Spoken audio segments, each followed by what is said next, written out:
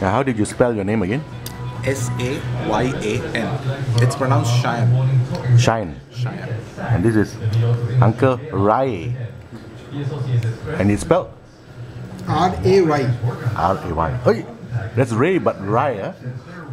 Okay, that's good.